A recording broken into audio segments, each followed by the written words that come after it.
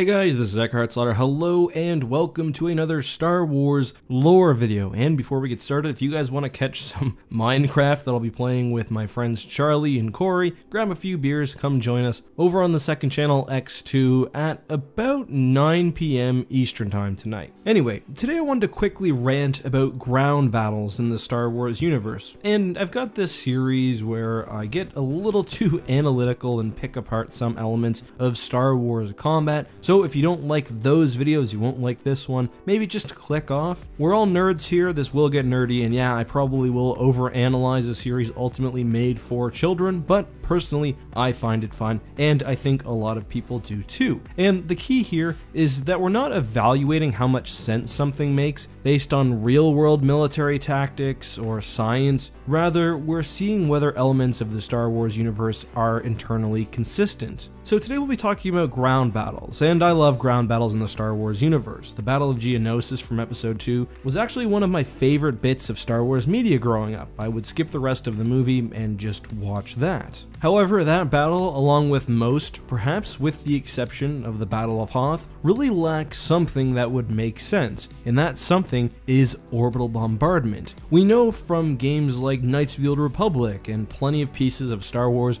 expanded universe content that capital ships in orbit are more than capable of bombarding the surface of a planet. Not only can they, say, melt an entire city or even the entire surface of a planet, but as we see in Book 2 of the Thrawn trilogy, Star Destroyers and other ships of that size can actually target pinpoint areas and destroy them. Thrawn uses it on one occasion to cause a massive fire or even to boil seas away to try to expose a submarine to damage. However, the general tactics of orbital bombardment are almost never used to their full potential. Probably the best example of this is actually the Battle of Geonosis. There were major droid factories and CIS strongholds on that planet that needed to be destroyed. There were Confederate core ships that needed to be taken out, and the Republic did so by landing artillery and troops, moving up to the targets and taking them out on the ground. And I mean, that does work in certain situations, but one of the unique things about the Battle of Geonosis was that the Republic had total air superiority. We know from both the films and largely the expanded universe that the Republic was able to wipe past the few separatist ships that were there. However, instead of leaving their capital ships in space, the Acclamators instead went to ground to dislodge troops. Now, certainly some of the Acclamators did need to go to the planet's surface, they had to rescue the Jedi, for example. However, with total air superiority, you can also pinpoint targets and destroy them from extreme range, with the ground forces having little to no ability to resist. Perhaps Geonosis had some ground-based cannons or something that made this more difficult, but this is just one example of how orbital bombardment is not used to its full extent. There are probably hundreds of more examples of this happening, orbital bombardment not being used in a case where it could have changed the tide of battle without actually having to risk the lives of your soldiers or your equipment. Now, sometimes there's a rationale that explains this away. For example, when it comes to the New Republic, they generally did not engage in in orbital bombardment, at least until the Yuuzhan Vong War, because it was seen as far, far too aggressive, too imperial, and that does make sense, especially where, unlike the Empire, the New Republic wasn't really willing to throw away entire populations or planets. Once the Vong invade, however, they became desperate and did start to employ the method, so that does make sense. However, in most of the battles I'll be talking about here, it's not the Republic, but rather the Confederacy or the Empire. Another thing that stops bombardment can be the presence of ground-based defenses, but especially planetary shields. And this is why I mentioned that the Battle of Hoth does make some sense. Because Ozzel comes out of light speed too close to the planet, Hoth is able to raise its shield, and Death Squadron is forced to land troops outside and walk in underneath it, presumably because the shield is somewhat like an umbrella. If they had managed to get to the planet without alerting the rebels, their plan probably would have been to target the shield generators and the cannons from space, then establish a blockade, and if they're trying to get survivors, then to send troops down. If they're just trying to wipe out the Alliance, then they can easily just do so from space. The problem is that many big ground battles actually take place when there's no orbital shield, and the planet Yavin which did not have such device, actually provides some good examples of this.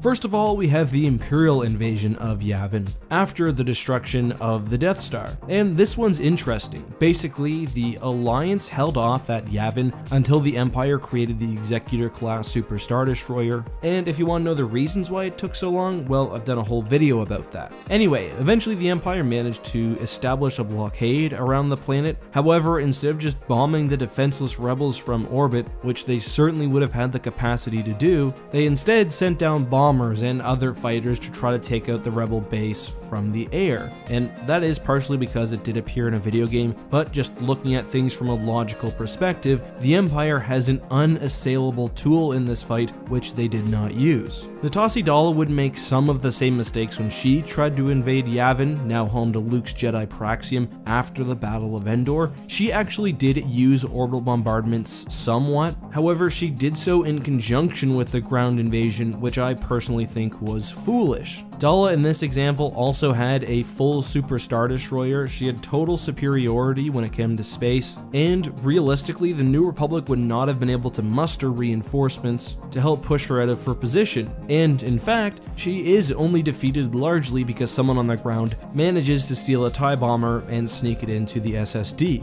Let's look now to the Clone Wars, and I think there's one example here that's better than perhaps any other. That is the attack on Dathomir. The Dathomiri have magic, sure, but they don't have any ground-based defenses, they don't have any capital ships, and they certainly do not have a planetary shield. Grievous decides that it would be a good idea to actually land on the planet and try to fight these literal witches in direct combat. Now, it doesn't go too poorly for him, however, a much better tactic would have been to send down some spy droids, try to find out the exact location of the Enclave if you don't already know where it is, and then just bomb it mercilessly from orbit. Anyway, there are a ton of examples, and when you read the Star Wars Expanded Universe, just think about some of the major battles, which faction effectively controls space, and whether turbo laser fire from space could actually make things easier. They work really well not only when one faction has total control of space, but also if the enemy is really, really dug in, or if a ground invasion is just generally not practical or preferable. For example, on Felucia, where the CIS were dug in and the terrain was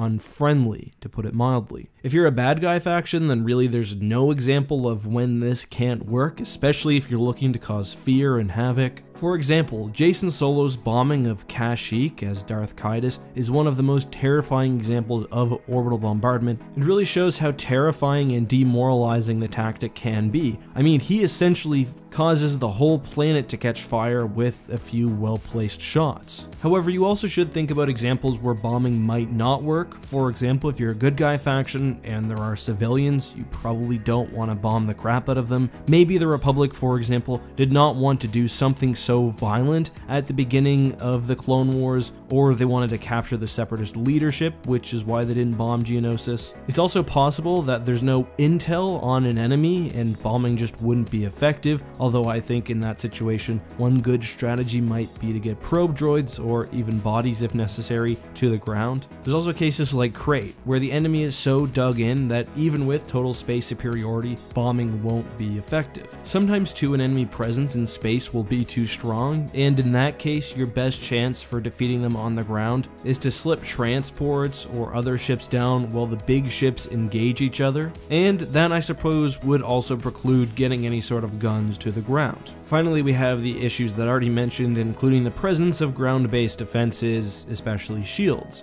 But I'm curious, am I overstating the effectiveness of orbital bombardments? Is there a specific battle in the Clone Wars that you think could have used a good bombing? Is there a reason, besides aesthetics and drama, why military leaders seem to prefer to send starfighters down to do direct precision bombing rather than shooting from the space? And most importantly, am I wrong in saying that Emperor Palpatine should have ordered one of the CIS capital ships to just accidentally blow up the Jedi Temple when fighting over Coruscant? Let me know all of that and more down in the comments. But until next time guys, this has been Eckhart's Ladder. Again, Drunk Minecraft over on my second channel, X2, link in the description up in the upper right hand corner. See some of you then, but if not, have a great one, and may the Force be with you.